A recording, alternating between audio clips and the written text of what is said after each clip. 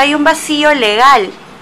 En realidad, de darse no debería haber ningún vacío legal, porque una vez que la, ley señala que las razones de aborto no punible están vinculadas a la protección de la salud de la mujer, aquel daño, eh, digamos, grave o permanente, eh, ya debería darse por sí mismo.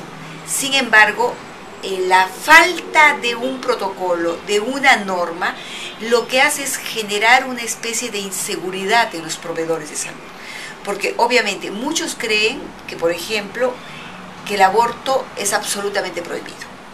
Hay una buena proporción que creen que el aborto está considerado en casos de violación o en casos de pobreza extrema. Es decir, hay una enorme desinformación en el campo de los médicos. Y así lo demuestra el estudio del doctor Tábara, que ha hecho a 300 ginecobstetras, en donde no hay una unidad de criterio respecto en qué aspectos la ley lo considera. Y esto genera básicamente un enorme problema de desinformación. Pero si ya está legislado, ¿cuál es el problema de que se haga el protocolo?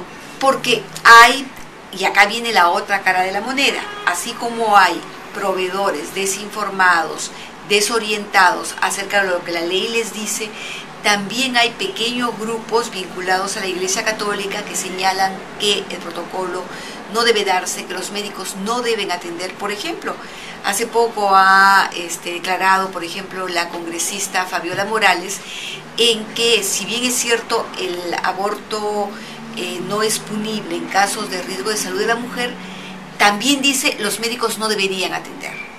Entonces, estamos hablando de una vicepresidenta del Congreso que llama sencillamente a la desobediencia de la ley a los médicos que sí están obligados a atender este tipo de temas. ¿Qué es lo que tendría que hacer una mujer que quiere practicarse un aborto terapéutico para que efectivamente el hospital haga la operación, ¿no?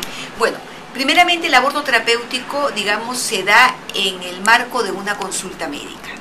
Cuando el médico efectivamente le señala a la persona, a la mujer, que su vida está en riesgo eh, grave o permanente. O sea, no es que a mí se me ocurre ir a un hospital y decir, yo quiero un aborto terapéutico que me haga un aborto. Eso no funciona de esa manera. De ninguna manera tiene que ser un daño en que la mujer se encuentre al borde de la muerte, porque si no ya es totalmente innecesario el aborto terapéutico en términos de salud de la mujer. Lo que es una medida preventiva para agravar un daño y un daño que sea permanente o que sea grave. Entonces, esa es la primera medida. Lo segundo, que el aborto terapéutico no obliga a nadie a abortar.